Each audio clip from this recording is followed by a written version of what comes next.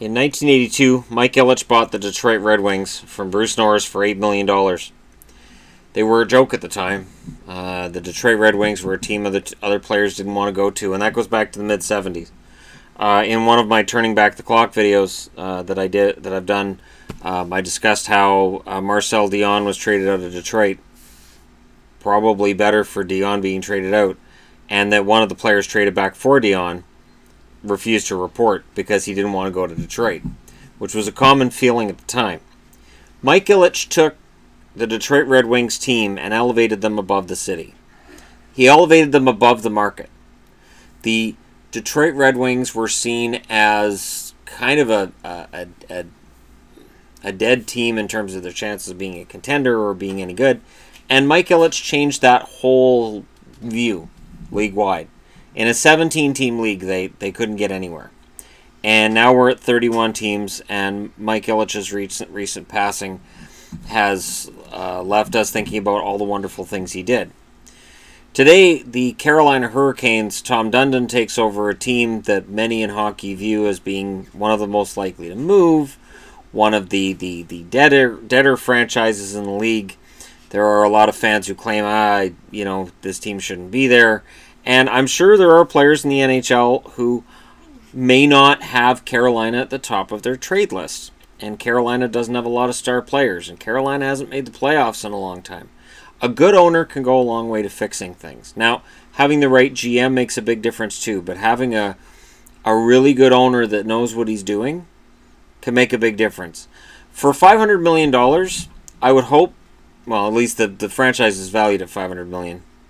Uh, I would hope Tom Dundon knows what he's getting into. He gets 61% share today, and he has the right to acquire the other 39%, which still belongs to Peter Karmanos, in three years' time. Uh, the franchise is guaranteed to stay in Carolina for quite a while. Uh, there's there's no fear of them being moved. That was one of the conditions on him buying the team. One of the first things he get at, gets asked is, "Are you going to move them?" What's he going to say? Yep, Paperwork's not the, the, the ink on the paperwork's not even dry yet. Is he going to say, "Yeah, yeah, no, I, I don't have any plans to stay here"? He's going to try to make it work, and there are ways to make it work in Carolina. There's a lot of fans who don't think that it will, don't think that it can. Move them. They they're they're they're a terrible team. And 40 years ago, you would have heard a lot of the same things about the Detroit Red Wings. That this was a, an original six franchise, but it was in a bitter state of disrepair. The city was in the tank and there was no point in keeping a team in Detroit. Players didn't want to go there. Well, here's Carolina, a non traditional market that's had trouble drawing over the last few years. And there's been trouble finding excitement due to the fact that the team's been bad. Carolina Hurricanes have been bad. And there's been issues with the ticket prices, as Hurricanes fans have pointed out, for a team that hasn't achieved. They're charging a lot of money for tickets. And Carolina took the step as well of, of getting rid of free tickets and not papering the place to make it look fuller than it is. I think with the new ownership, we'll see kind of a mix. If he's smart, he'll have uh, ticket prices brought down, and then he'll have giveaways not based on here's a bunch of free tickets, but do giveaways more towards the, the, the side of, of charity and more towards the sides of your military and more towards you know your community where you're like hey You've done this great thing for our community. Why don't you come out and watch a hockey game? Something like that will win over new fans, and those fans will come back again as paying ticket holders.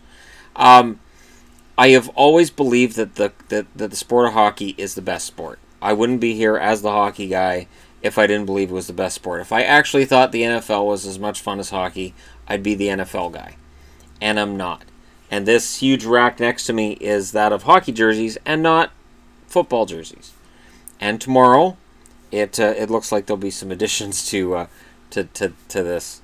Um, tomorrow is going to be a, a Mecca Jersey Christmas, but that's that's for a whole other whole other video.